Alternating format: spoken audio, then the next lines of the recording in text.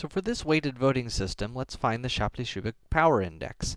So for this power index, uh, we look at sequential coalitions instead of uh, regular coalitions. So we look at pivotal players and look at how many times each player is pivotal. So first thing we need to do is list all the sequential coalitions. In other words, we need to list all the players in all possible permutations, or in other words, in all possible order.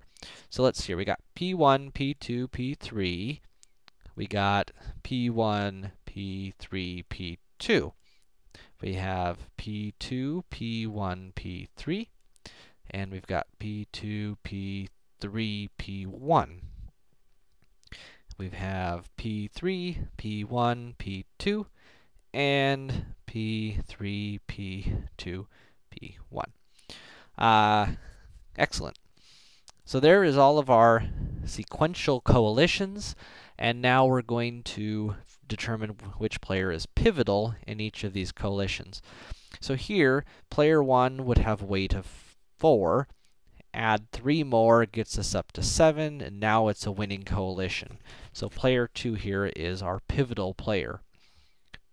P1, P3, P2. So player 1 has a weight of 4, add player 3 with a weight of 2 gets us up to 6, so player 3 here is pivotal. Here, player 2 uh, has a weight of 3, add player 1 who has a weight of 4 gets us up to 7, player 1 is pivotal. Uh, here, player 2 plus player 3 has a weight of 5. That's not yet a winning coalition, so we have to wait for player 1.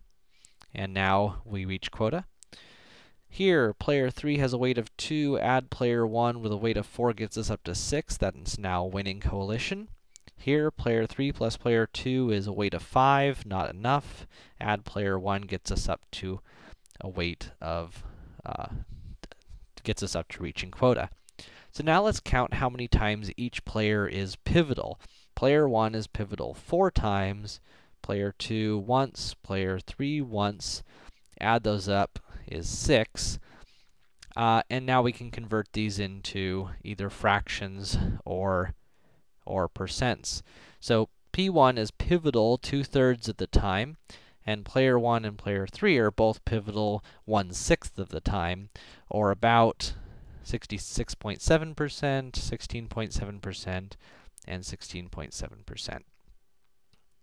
And that is the Shapley-Shubik power index for this weighted voting system.